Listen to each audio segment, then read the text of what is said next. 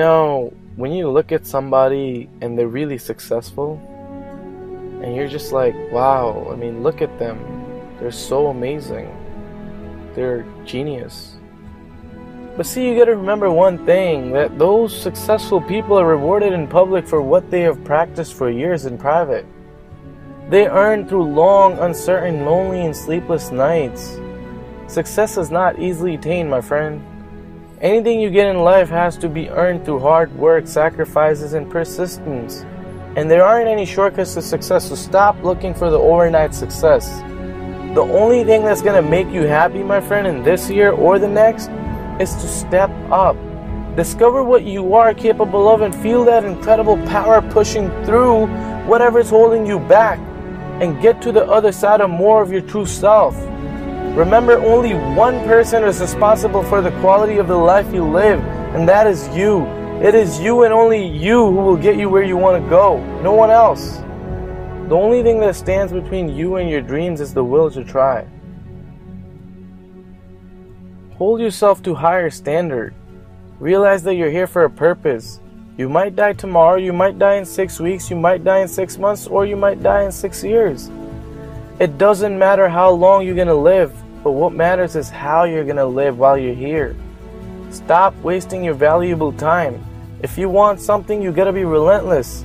You gotta discover the purpose of your life and ask yourself, why am I here? You gotta know what that is for you because that is what will help you make the decisions. That'll give you the motivation to get up early and stay up late. You wanna make something big? It's gonna take some time. It's gonna take effort, hard work, and dedication. Stop Googling stuff and stop looking at your Facebook. Stop checking out all that shit that you're not supposed to be checking and start focusing on what is important in order for you to achieve your goal. The easiest thing in the world is to be distracted. And being successful is often deciding that you're not going to fall for the distractions. You want success in life, then try to take responsibilities. The moment you take responsibility of your life is the moment your everything shifts. Decide that no one else is responsible for your success, and that puts the power in your hands. You gotta want to succeed as bad as you want to breathe, and then you will be successful. One of the things about life is that you're gonna get hurt, you're gonna make some mistakes, you're gonna fail your way to success, but you gotta be willing to push yourself. You gotta keep pushing forward. You gotta be willing to challenge yourself by putting yourself in perpetual state of discomfort.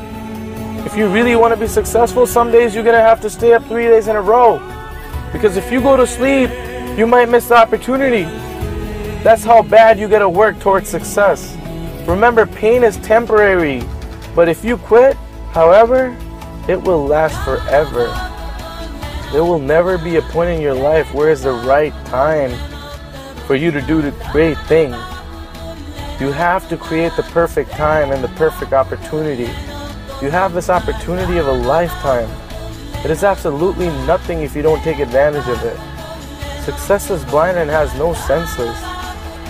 It cannot find you unless you use all your skills to capture and conquer it. Keep in mind that every day you waste is the day you'll never get back. And remember, you gotta do what you love because you only become truly accomplished as something you love. Don't make money your goal. Instead, pursue the things you love doing and then do them so well that people can't take their eyes off of you. Now get your asses off the chair or whatever you're on, write a plan and take action. Mark your target and strike. Giving up is not an option, and you will never fail if you never give up. One day you will be proud of yourself and know that all the sacrifices you made to reach your goal were all worth it at the end.